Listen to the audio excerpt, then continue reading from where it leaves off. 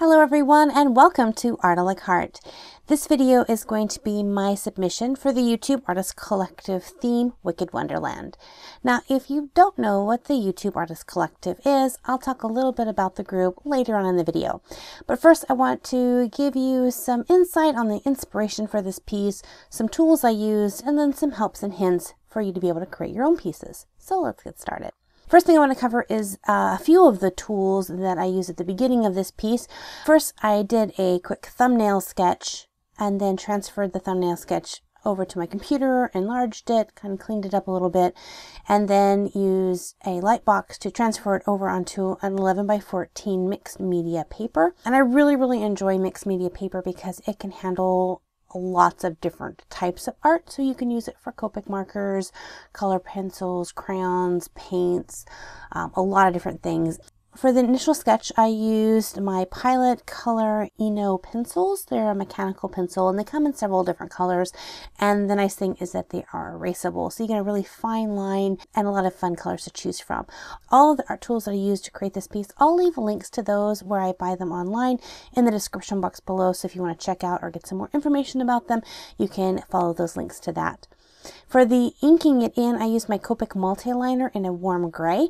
Um, normally I always use either black or a kind of a brown color, uh, but recently I just picked up a warm gray and tried it out here and absolutely adore it. It has this really soft line to it. So if you're not wanting that really harsh kind of black outline, but you still want a nice outline, using a warm gray multi-liner can really give you a nice effect. I kind of think it looks a lot like the color of a dark lead. Um, so it worked great for me. And then for the flat coloring of this piece, I use my Copic markers. A little hint for you, whether you use Copic markers or any kind of markers, paints, crayons, color pencils, is to have a color swatch, um, just a piece of paper that you can lay down the colors as a sample. Sometimes the colors will differ from the sample that they have like on the cap or on the side of the pencil. Um, so having it actually on paper is going to help you make a better decision on what color you want to use. If you're using a medium that is transparent, like with Copic markers, my best suggestion is to layer it from light to dark. So I'm going to begin adding in my colors using the lightest tones first and then go back over top of it and darken them uh, a little at a time. You're also going to notice that I don't always use just the typical shading we know you think of shading as a darker tone of the original color, but you'll see I'll use blues, I'll use greens, yellows, oranges, all those kind of things to pull out colors. It adds a little interest and variety into your picture. So now let's talk a little bit about the inspiration. For any of you who have watched some of my videos before, you may know that I am such a huge fan of anything Alice in Wonderland. So I was super excited when I found out that Wicked Wonderland was the theme.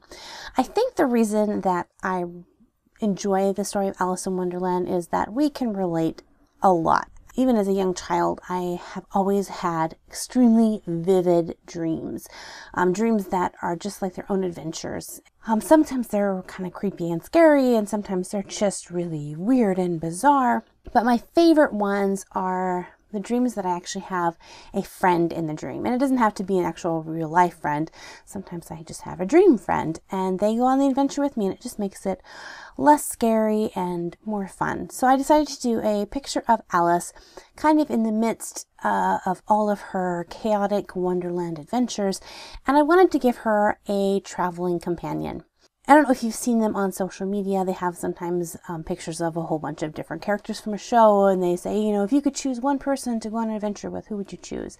So I decided to do that with the Wonderland characters, and I thought if she could have one character to have an adventure with, to be her traveling buddy, to help her through, who would that be? And I decided it would be the Cheshire Cat because, uh, first of all, cats are cool. I love cats, yay! And the Cheshire Cat, you just you can't like surprise him. He just always seems to know what's going on and has an answer for just about everything. And so I chose the Cheshire Cat.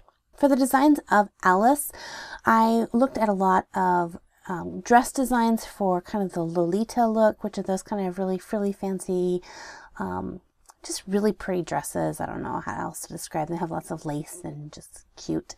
Um, so I put together a couple of different designs and came up with that.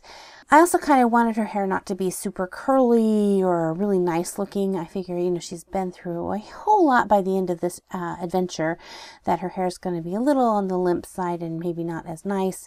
And then with her hair also, I decided to put a little personal touch. Um, I like to add a little color to my own hair. So you'll see in the video that I actually put some nice pink highlights to her hair. I wanted her hair to be kind of a brown color with golden highlights. So I layered in the lighter tones first and then slowly began to build up the color little by little. And you'll see um, I put a lot of work into the hair, not just with the Copic markers, but later on I use color pencils to add in a lot of work and oh, that hair. I think it turned out really well and well worth the time and effort that I put into it. So the inspiration for the Cheshire Cat actually came from a previous video that I did, which was a live stream in which you guys um, requested that I draw a cat. And so I decided to do a kitten who was a Cheshire cat and he was rainbow colored. So we had the rainbow Cheshire kitten. So I decided to kind of pay homage to that video and do another rainbow Cheshire cat this time all, all grown up. So for those of you who watched that video, you might recognize the Cheshire Cat. If you didn't watch that video, I'll put a link to it in the description box below so you can check that out if you'd like to. There was a ton of detail. I just wanted to have this piece have a lot of things to look at. So a lot of things going on in the background and each element I'm trying to pull in some sort of theme from the story. So it was a lot of fun to create this piece. But now let me go ahead and talk to you guys a little bit about the YouTube Artist Collective group. So this is a group of, I think, about 11 different YouTube artists. Every two months, we each individually create a piece based on a theme that is actually voted on by you guys. So the YouTube Artist Collective has a Facebook page and we put a list of ideas up and then you guys vote and the most popular vote then gets chosen as a theme. So if you'd like to be part of that choosing process, I will have a link to the Facebook page so that you can head over there. It's really fun as well because a lot of times the artists will post update pictures as they work on the piece throughout the, you know, the month. Um, and it's a great place for you to be able to post your artwork. Um, so if you'd like to do your own version of this piece uh, and you'd like to share it with us, go ahead and post that to the Facebook page. We'd love to see it.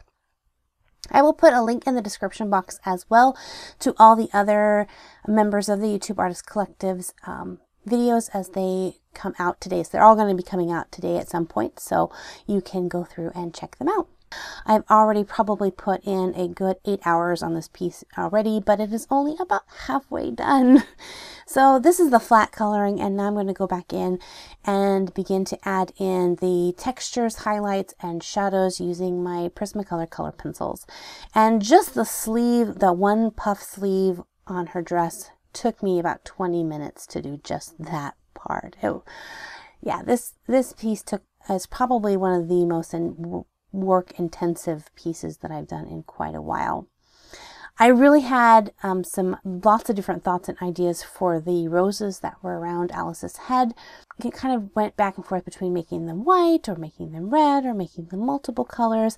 But in the end, I decided to take the part from the story where they paint the roses red and the paint's kind of dripping off the roses.